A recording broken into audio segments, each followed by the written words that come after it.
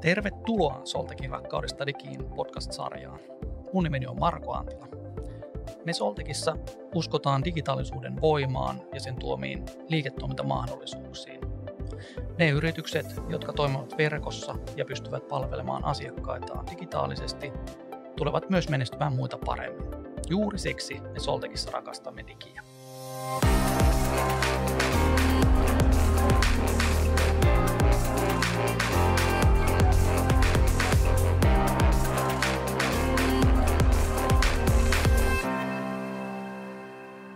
No niin, tervetuloa vaan mukaan tänne Soltekin rakkaudesta digiin podcast-sarjaan.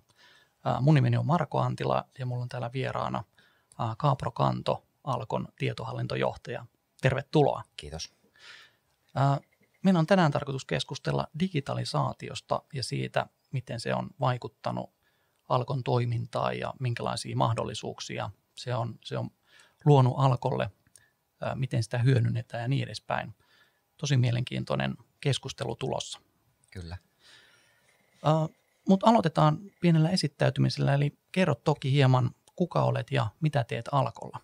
Joo, eli nimi tosiaan on Kaaprokanto, tietohallintojohtajana nykyiseltään Alkolla. Mä oon kolmisen vuotta ollut firmassa, lähtenyt siitä, että mä oon ollut ensin pääarkkitehti, mutta sitten siirryin siitä tietohallintojohtajaksi. Ja, ja tota, mä vedän siellä semmoista 15 hengen pientä tiimiä, joka huolehtii siitä, että alkoissa kaikissa erilaiset tietotekniset laitteet, verkkopalvelut, muut vastaavat kokonaisuudet toimii. Mä oon taustaltani IT-alalle mm, tullut tuossa vuosituhanteen vaihteessa mm, lähin telekommunikaatiopuolelta ja hyppäsi vähän konsultointiin, veri veti takaisin telekommunikaatioon ja sitten jossain kohtaa hyvä kaveri vinkkasi, että Alkolle haetaan nyt uusiin, uusiin, uuteen tehtävään pääarkkitehtiä, että se voisi olla mulle just nakutettu homma ja nyt ollaan tässä tosiaan. Eli maailma on jonkin verran tullut nähtyä ja, ja tota, nyt ollaan löydetty ehkä se ää, rakkauteni paikka. No niin, se kuulostaa hyvältä. Meillä onkin yhteistä taustaa, eli, eli itse on myös tuolta Telekom puolelta. Siellä on kymmenen vuotta tullut vietettyä aikaa. No niin se on tosi mielenkiintoinen toimiala sekin. Se on, ja kovassa murroksessa koko aika. Juurikin näin, juurikin näin. Mutta minkälaista roolia digitalisaatio näyttelee teillä Alkolla ja, ja minkälaisia mahdollisuuksia se on tarjonnut teille? Me, meillä se niin kuin, äh, digitalisaatio on asia, joka on pitkään ollut meillä tapetilla. Sin, sinällään niin varmaan – me palataan tietyllä lailla siihen juureen, että, 80-luvulla kun digitalisaatio alkoi, kotitietokoneet ja perustekniikka alkoi levittäytyä, niin silloin me ollaan ehkä hypätty matkaan mukaan. Ja me, meillä ei ollut mitään semmoista Big Bang-meininkiä missään kohtaa, vaan pikkuhiljaa automaatio, digitalisaatio on, on tota, kaivautunut sinne alkon syvimpiin loukeroihin ja varmistanut sitä, että työnteko on sujuvaa ja modernia. Ja, ja tota, me ollaan monen tyyppisissä harjoituksissa tehty, varmistettu sitä, että digi, digin avulla saadaan maailman parasta asiakaskokemusta tehtyä.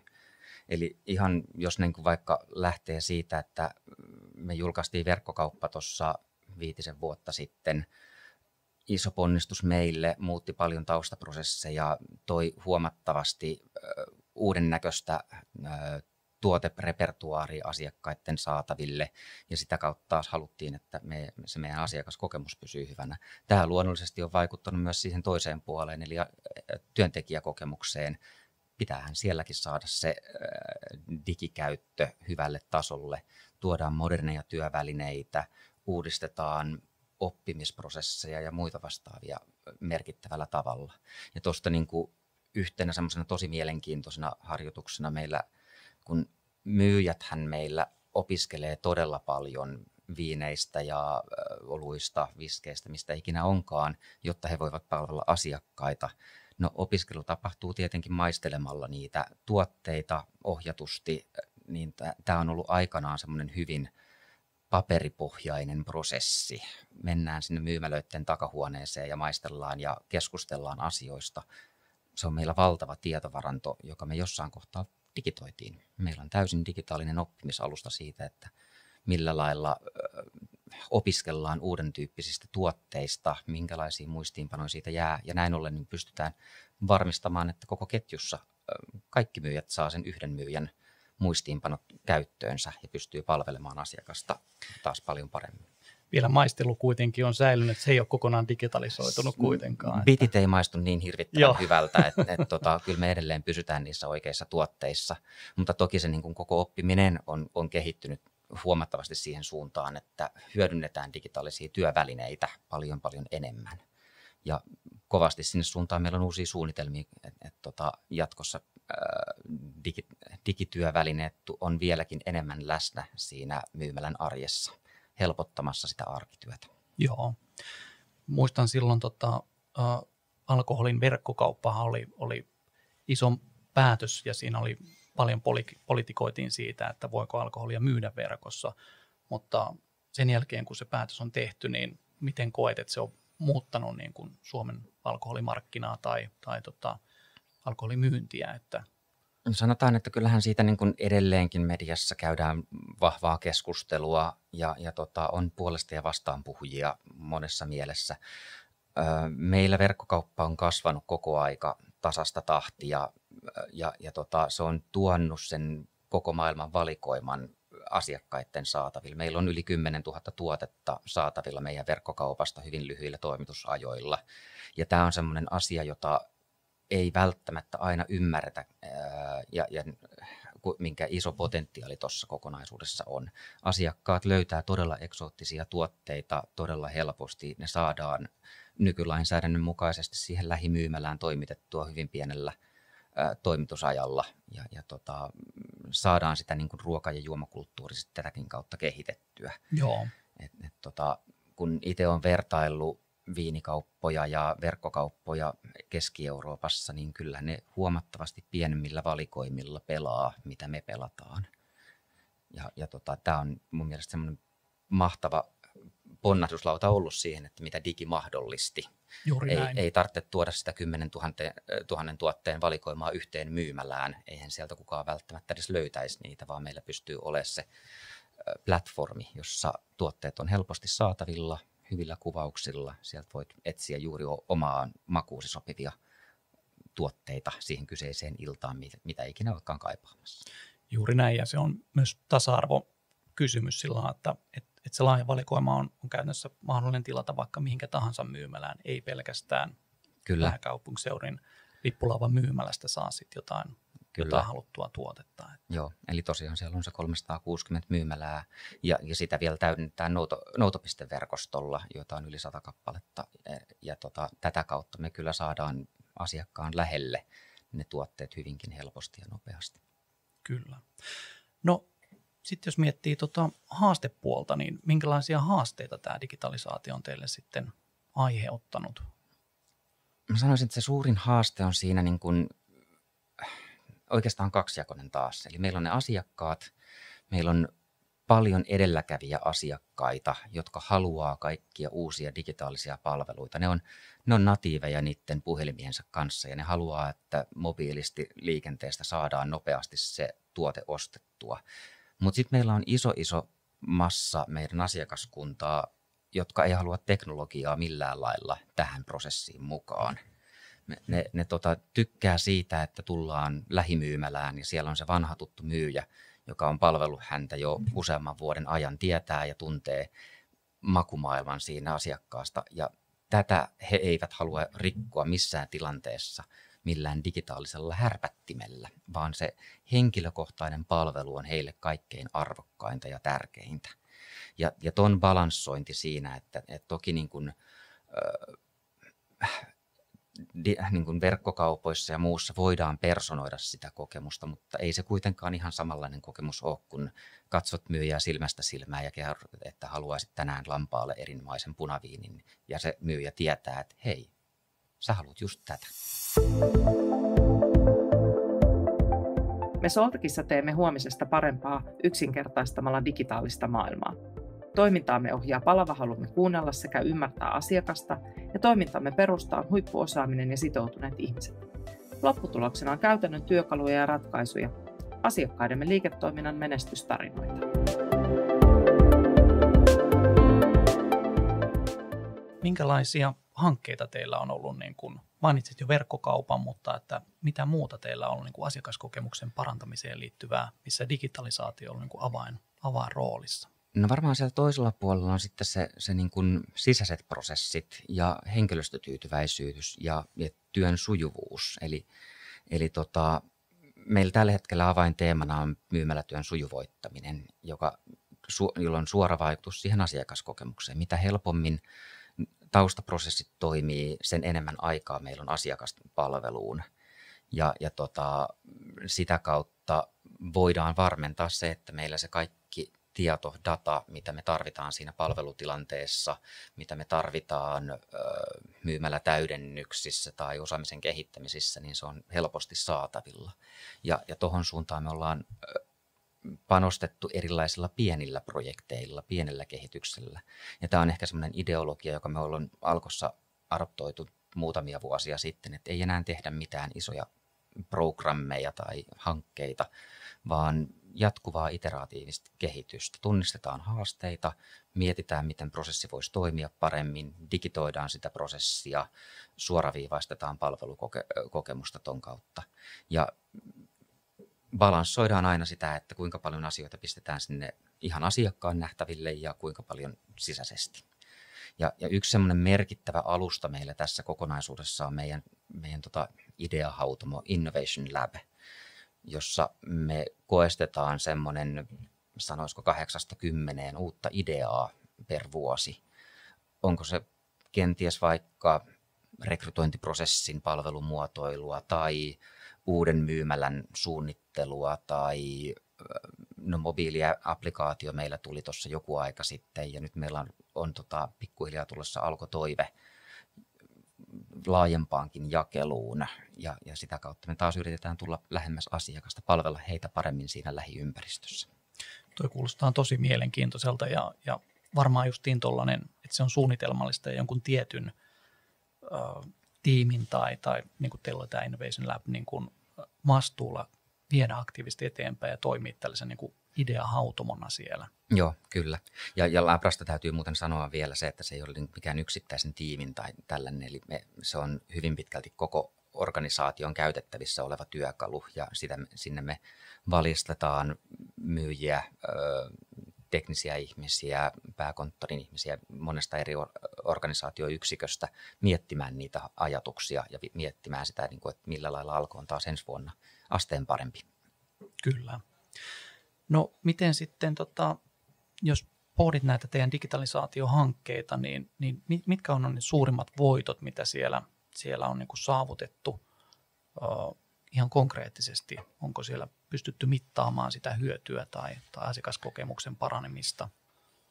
Mm, no asiakaskokemuksen parantamista mitataan koko aika ja, ja tota, mehän ollaan ykkösenä ykkösenä tai kakkosena tuossa asiakaskokemusmittareissa, CAP-mittarissa oltu pidemmän aikaakin.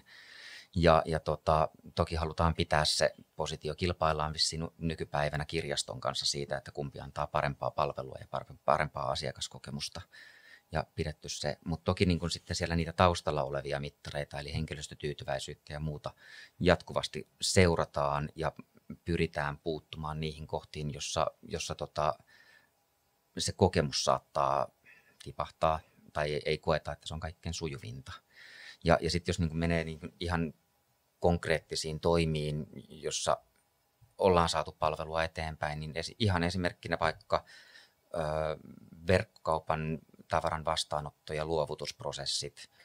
Sitä meidän myyjät ei aina kokenut ihan kaikkein sujuvimmaksi ja mukavimmaksi malliksi otetaan kiinni prosessista, parannetaan sitä, silloin välitön näkyvyys asiakkaalle, koska sillä hetkellä kun sä tuut myymälään, niin se ei ole miellyttävä kokemus, että myyjä alkaa etsimään sun tilauksia ja käymään niitä varastoja läpi ja kertomaan, että hei täältähän tämä löytyy, vaan se pitäisi olla sujuva. Sä saat sen tuotteen tai pakettisi siinä tapauksessa ja, ja tota, hommat hoidetaan hyvinkin nopeasti läpi. Ja siinä kohtaa just, että kun meillä on tehokas toimiva prosessi, teknologia tukee sitä sitä toimintaa, niin silloin se asiakaskokemuskin taas paranee ja myyjällä on miellyttävämpää palvelua. Joo, juuri näin. Ja muistan, joskus aikoina on, on jopa koettu, että, että myymällä kilpailee sen verkkokaupan kanssa, että on vähän tällaista niin kuin sisäistä kilpailua, että on koettu se verkkokauppa sen kivijalan kilpailijaksi, vaikka ne onkin tärkeitä, että ne tukee ne, toinen toisiaan. tukee toisiaan kyllä merkittävästi ja, ja tota, toki voi olla, että silloin kun julkaistiin verkkokauppa, niin, niin tällaisia on saattanut olla ja mä tiedän monta muuta yritystä, jossa sama vaikutus on tullut vastaan, mutta sinällään ainakin oma kokemus on siinä, että meidän myyjät kokee verkkokaupan mahtavana jatkeena siihen oman myymälänsä valikoimaan. Kukaan ei pysty ottaa sitä koko 10 000 tuotteen valikoimaa omaan siihen lähimyymälään, joka saattaa olla hyvin pienikin. Ja, ja näin ollen meillä on olemassa välineet palvella sitä asiakasta siinä tilanteessa, kun kyseisestä myymälästä ei löydy tuotetta. Eli meillä on niin kuin, myyjillä on tabletit käytössä, ne pääsee asiakkaan kanssa yhdessä katsomaan, että he täältä verkkokaupasta saattaisikin löytyä tämmöinen uuden tyyppinen tuote, tilataanko se hän, suoraan hänelle vai, vai tota, haluaako asiakas itse opiskella, miten verkkokauppa toimii ja me voidaan avustaa siinä asiakastakin digimatkalleen aika paljon. Kyllä. No miten onko nämä digihankkeet näkynyt ihan niin kuin äh, viivan alla? Eli, eli jos katsoo niin kuin liiketoiminnan tunnuslukuja ihan taloudellisessa mielessä, niin oletteko nähneet sen, että, että se vaikuttaa myös sinne viivan alle? Kyllä vaikuttaa, joo. Siis niin kuin automaation kautta pystytään vapauttaa resursseja monessakin paikassa. To, toki se on aina semmoinen, sanotaan, tietty tasapainottelu taas siinä, että laitetaanko rahaa siihen johonkin uuteen mm, tota, prosessin kehittämiseen, automatisoidaan joku kokonaisuus, se saattaa vapauttaa taas sitten muutamia työtunteja. No onko sillä täysin suoraa vaikutusta, koska kauppa on auki aamusta iltaan, ei välttämättä, mutta, mutta tota, näissä niin kuin yksittäisessä ollaan aina pystytty todentamaan, että kyllä sille viivan allekin on merkitystä. Ja, ja totta kai se, niin se kaikkein merkittävin ehkä niin verkkokauppa, jonka myynti kasvaa jatku, jatkuvasti. Jos ei meillä olisi digiä, niin ei meillä olisi verkkokauppaakaan, joka pystyisi tuottamaan siellä lisää liikevaihtoa. No mitä sitten, jos miettii tässä vielä niin kuin Alkon digitalisaation matkaa, niin mitkä on ollut ne suurimmat haasteet? Kerroit jo siitä, että, että osa käyttäjäkunnasta voi kokea sen niin kuin, haasteena, että ei, ei halua niitä digihärpäkkeitä välttämättä mm. ottaa mukaan, mutta onko muuta vielä, mitä... No se, mitä niin kuin... se myös se, niin kuin se sisäinenkin puoli tässä näin, eli muutosjohtaminen on mun mielestä ollut aina se kaikkein isoin haaste. Eli, eli tota, meilläkin myyjiä on muutama tuhat kappaletta hyvin erityyppisistä taustoista, erityyppisellä matkalla tässä digissä. Jotkut on syntynyt kännykät kädessä ja, ja jotkut on joutunut vanhemmalla iällä opiskelemaan tietokoneiden käyttöä. Ja tämä tulee aina uudelleen ja uudelleen meidän projekteissa vastaan, että miten me kaikkein parhaalla tavalla osallistetaan se erityyppinen henkilöstö ö, varmistamaan se, että se projekti menee hienosti maaliin. Että sanotaan, että se niin kuin projektitoimituksessa se tekninen osuus on lähes aina kaikkein helpoin, mutta sitten se käyttöönotto näinkin isossa organisaatiossa, niin se, siinä, siellä tulee niitä isompia haasteita, joilla pitää varmentaa, kouluttaa henkilöstöä, että hei, nyt tällä laitteella tehdään nykyään tällainen. Nykyään uusi järjestelmä, uusi käyttöliittymä käytössä, jolla tehdään esimerkiksi tavaran tilaamista myymälään. Jos me ei saada tota nappia, niin yhtäkkiä meillä on hyllyt tyhjänä. Sitähän me ei voida missään tilanteessa sallia. Eli tämmöinen niin kuin käyttäjäkoulutus ja osallistuminen on, on aina se mun mielestä isoin haaste tässä, tässä matkassa. Juurikin näin, juurikin näin. Uh, no onko jotain, mitä tekisitte toisin? Nyt tietysti aina jälkikäteen on, on helppo viisastella, mutta kerro joku asia, mikä voisi olla näin jälkikäteen ehkä sellainen, minkä, minkä olisitte tehneet ehkä toisella tapaa. Mä ehkä palaan jopa siihen muutosjohtamiseen ja, ja tota, osallistamiseen tässä kokonaisuudessa. Eli, eli ainakin itse koen, että on tehnyt sitä virhettä, että tehdään jotain projekteja, tehdään hienoja suunnitelmia pääkonttorissa ja päätetään, että no niin, nyt tämä on valmis, nyt tämä rollautetaan koko organisaatioon. Ja sieltä tuleekin sit sitä negatiivista palautetta, että älkää nyt kuvitelko, että tämmöinen toimii.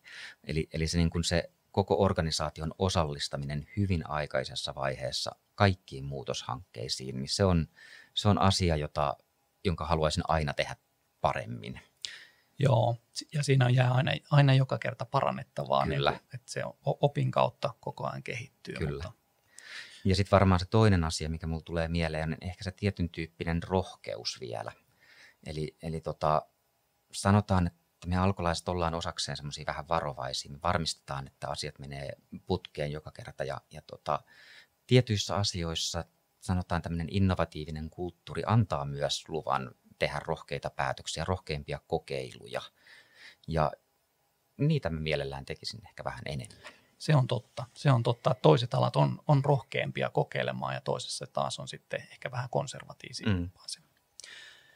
No kerroit alussa, että, että, että sulla on taustaa myös tuolta Telekom puolelta, niin onko jotain oppeja, mitä olet voinut niin kuin toimialojen yli ammentaa nyt sitten esimerkiksi Alkolle? Onko siellä ollut tällaista toimiala, toimialojen ristiin pölyttämistä tai muuta? Ky- mitä kyllähän sitä tulee. Eli, eli tota, no, konsultointiaikoina mä tein aika paljon finanssipuolen asioita, sitten taas on telekommunikaatiotaustaa. Ja siellä ne niin kuin palvelumallit ja teknologian hyödyntäminen on, sellaisia asioita, jota, jota on helposti voinut tuoda tähän maailmaan. Sen huomaa, että ihan niin kuin kuluttajille näkyvänä tämmöinen tilausmalli, niin sehän ei ole vielä kuluttajakauppaan kovin moneen paikkaan tullut, mutta siellä on kuitenkin niitä liiketoiminnassa mallin peruspohjarakenteita, joita pystyy hyödyntämään ihan tämmöisessä meidän normaalissakin ö, vähittäiskauppatyyppisessä toiminteessa, jossa asiakkaat käy hakemassa yksittäisiä tuotteita. Voidaan miettiä sitä saman, samantyyppisiä malleja ö, tavaran täydentämiseen ja, ja tota asiakaskommunikoinneissa ja muussa vastaavissa, jotka on ollut ihan arvokkaita kes, ö, tota oppeja. Ja sitten tietenkin tota telekommunikaatio, joka painaa teknologisesti aika paljon pidemmällä mitä kaupan alla, niin se on kyllä tuonut semmoista tietyn tyyppistä lisävarmuutta ö, uuden teknologian hyödyntämisessä erilaisissa prosesseissa. Kyllä. No, meillä kohta alkaa aika loppua, mutta otetaan tähän loppuun pieni tällainen digiminuutti ja, ja tota, mä heitän tässä muutamia digitalisaatioon liittyviä termejä ja kerron minkälaisia asioita tai, tai mitä tulee mieleen ensimmäisenä näistä termeistä. Eli ensimmäisenä asioiden internet eli IoT. Mahtava asia. To, toki niin kuin vasta alkutekijöissään. Näen suuren potentiaalin tietyillä osa-aloilla tässä näin. Kaupan alla tulee tietyllä lailla jälkijunassa tässä ja, ja tota, niitä hyviä sovellu- sovelluksia ei ole kovin paljon näkynyt vielä, mutta mä luulen, että se buumi tulee muutaman vuoden sisään. Juuri näin. No miten sitten koneoppiminen, mitä se tuo, tuo ensimmäisenä mieleen? Taas erinomainen osa-alue. Ollaan siis ihan ihan alkutekijöissä mun mielestä. Toki niin kuin siis koneoppimistahan on 60-luvulta asti tehty, mutta, mutta sinällään nyt on se kyvykkyys tullut pitkälle, että sieltä oikeasti saadaan niitä hedelmiä ja mekin ollaan alkos kokeiltu koneoppimista niin asiakaspalvelupuolella kuin myymäläpuolellakin ja huomattu se, että se, se potentiaali on valtava, mutta teknologia ei ole vielä siellä. Eli, eli vielä pienä, pientä maturiteettia. Maturiteettihaasteita on ollut tähän, tähän mennessä. No entä sitten Business Intelligence, PI, minkälaista asiaa siellä? Onko se alkolla?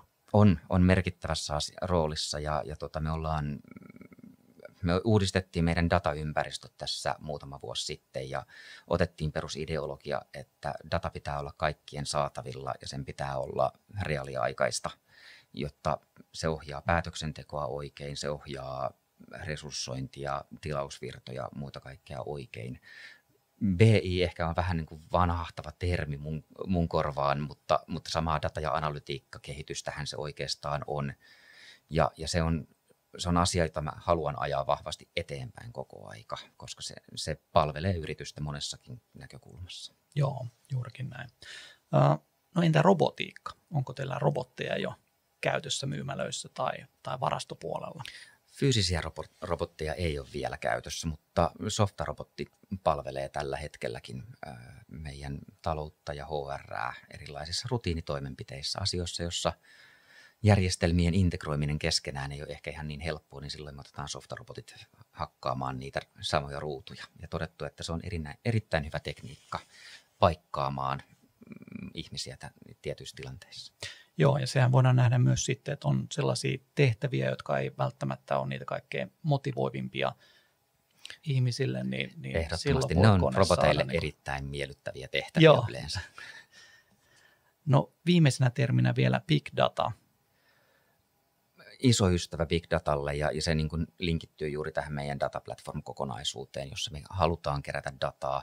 Öö, no tausta kun on telekom puolelta, niin melkein sanoisin, että kaupan alalla tämä on small dataa edelleenkin, koska niiden datamassat, mitä aikanaan telkossa on pyöritellyt, niin oli aivan huikeita.